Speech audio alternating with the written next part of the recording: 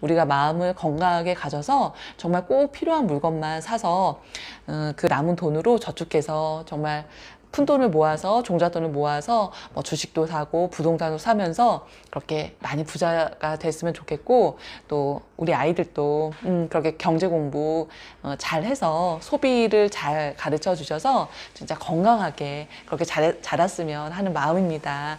지도라 댕기다 인정으로 안녕하세요 아더맘입니다. 오늘은 우리가 왜 꼭 필요하지 않은 곳에 돈을 쓸까라는 것에 대해서 얘기를 나눠보려고 합니다. 참고할 책은요. 내 마음인데 왜 내 마음대로 안 되는 걸까라는 책을 참고로 말씀을 드리려고 합니다. 이 책을 쓰신 분이 김형근 님이시라는 분인데요. 중독은 건강한 친밀감 속에서 얻어지는 자존감 회복을 통해 반드시 치유할 수 있다는 신념을 갖고 계신 분이래요. 이 말이 너무 좋고 정말 이런 일을 하시는 분이 많이 계셨으면 좋겠습니다. 나는 왜 충동 구매를 할까라는 것입니다. 가정주부인 은영 씨는 쇼핑 중독을 겪고 있는 30대 중반의 여성이다.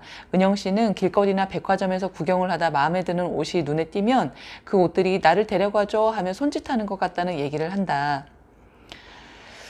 음, 사다 놓은 물건들만 굉장히 많은 돈을 쓴대요. 박스도 뜯지 않은 채 그냥 물건을 사는 거에 집중하는 거예요.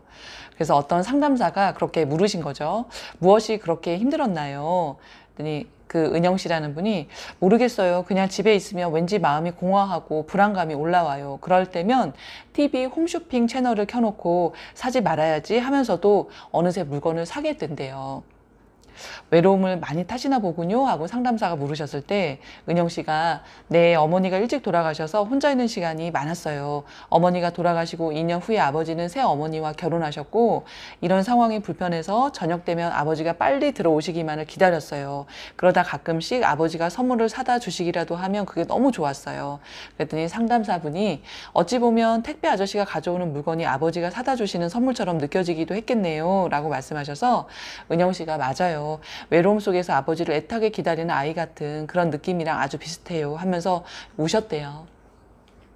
우리가 겉으로만 봤을 때 이분의 모습을 아니 왜 필요, 필요하지도 않은 걸 갖다가 그렇게 쌓아두고 박스 뜯지도 않고 그게 뭐 하는 짓이야? 이렇게 생각을 할 수도 있겠지만 이분의 마음속에는 이런 심리 상태가 있었던 거죠. 어, 어릴 때 자라오면서. 그러니까 저도 사람들이 어떤 행동을 할 때 그 이면에 그런 마음을 읽어주는 것에 되게 관심이 많거든요.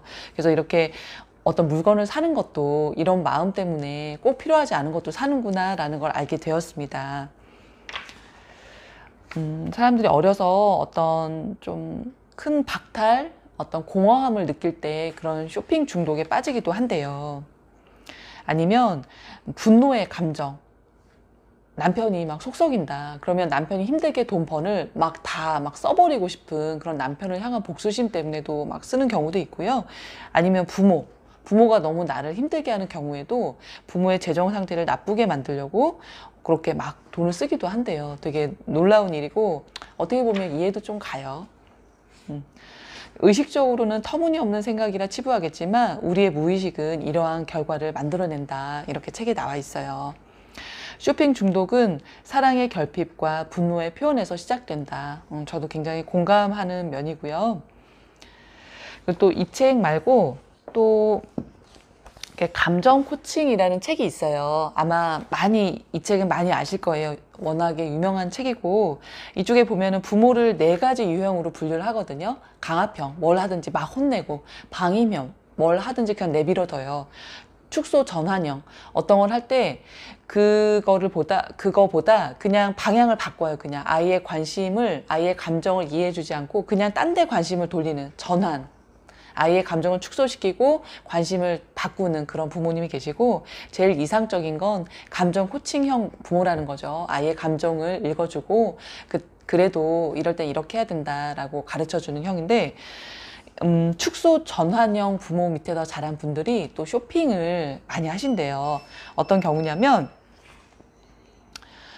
어, 이런 분들은 어떤 감정을 어떤 슬픈 감정을 당했을 때 그거를 왜 나쁘 그런 마음이 들었는지를 해결을 해야 되는데 그거는 무시당한 채 아예 슬프니까 그냥 다른 거에 관심을 두자 이렇게 생각을 하신대요.